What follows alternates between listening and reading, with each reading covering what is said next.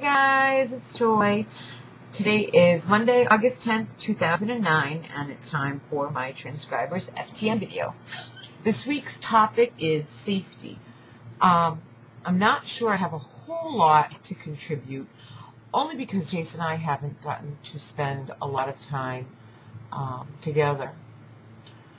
Uh, so it's kind of hard to gauge. Um, don't have a lot to draw on but I'll do my best. Um, the first question is, have you or the trans man in your life ever felt unsafe due to his trans identity? When and what happened? Um, I never have. See, I grew up in, uh, I grew up in the Bronx I was 12, so I'm very comfortable in um, urban settings. Um, whereas other people might not be. So I don't I don't notice what other people might perceive to be um, dangers. I asked Chase about this, and he said um, there have been a couple of times um, where he felt unsafe, and I asked him because there's a funny story. I asked him if it was just a general unsafe or you know in particular um, directed at, towards. Did he feel unsafe because of being trans? And he said a little bit of like he felt unsafe and then thought that the, the trends would add to how unsafe he felt. But when he first came here to uh, Massachusetts, we had gone to stop and get cigarettes. It was about 11 o'clock at night, I guess, and I live in a not a great place. Um, yeah, no, not a great place. And uh, just as he was walking into the store, there were two other guys that were walking in, and um, this huge bang went off and didn't phase me. I don't know what it was. Um, but the two guys said, oh my God, someone got shot and turned around and went back to their car. And Chase turned around, came right back up to the truck. He's like, what the fuck was that? Um, so I, and I was like, fireworks? I don't know. He's like, okay, we're going to move the truck. Um, so again, I feel safe in situations where he doesn't. Um, but whether or not it's just related to his being trans, I, I don't think so. I think like what he said is just, he would feel unsafe in that situation regardless, and just the fact that he's trans um, exacerbates it a little bit, or maybe a lot. I don't know.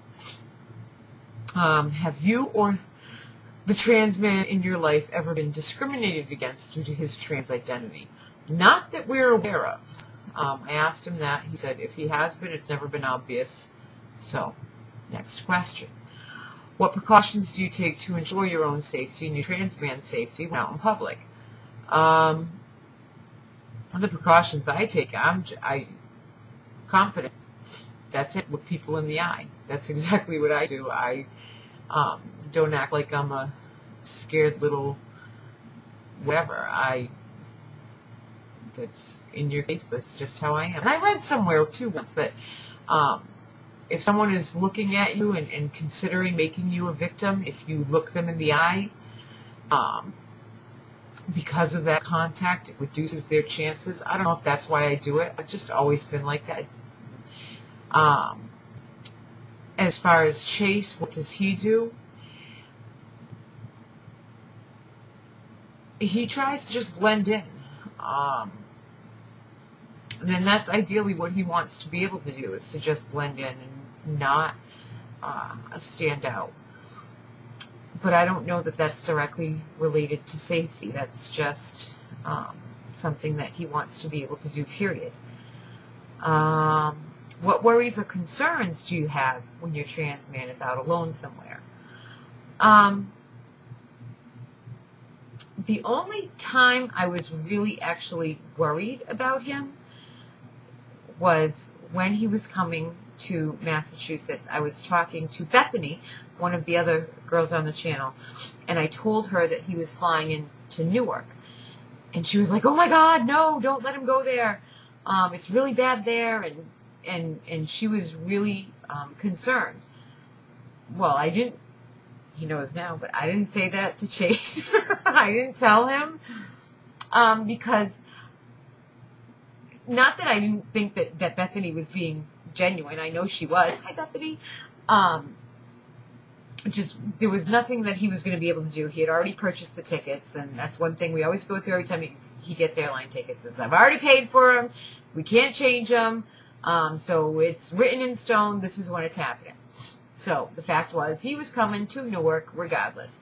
Uh, it didn't end up being um, as bad as I guess it could have been. It, it didn't.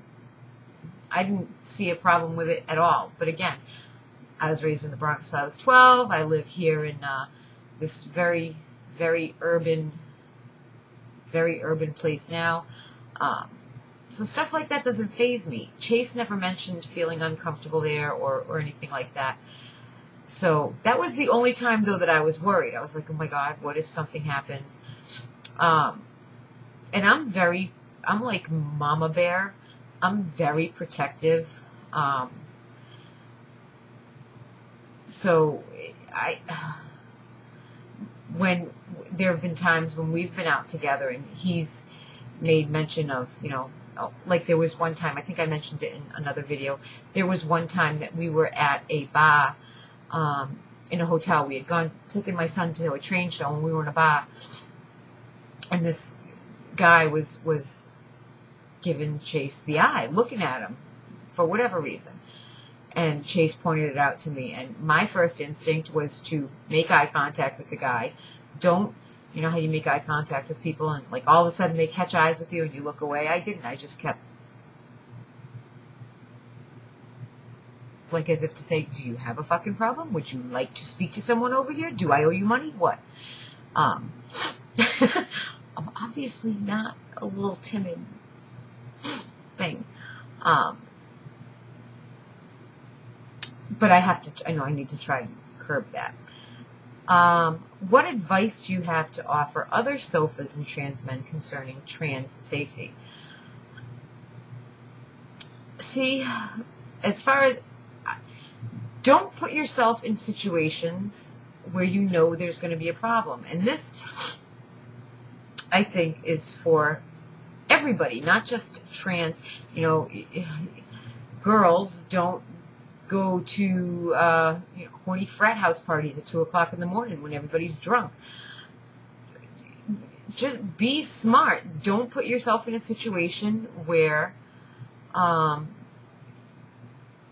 you know ahead of time that there could be problems. Of course, sometimes there's going to be problems regardless. Um,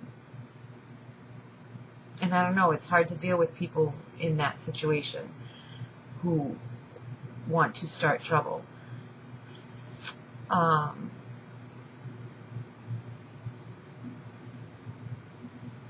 just be smart and be confident. If you act like you are afraid, whoever is looking to make you a victim will pick up on that and you become an easier target. Um, so I know I didn't contribute a whole lot because, like I said, we haven't spent a whole lot of time out and about together yet. Um, so it's it's I don't have a whole lot to draw on.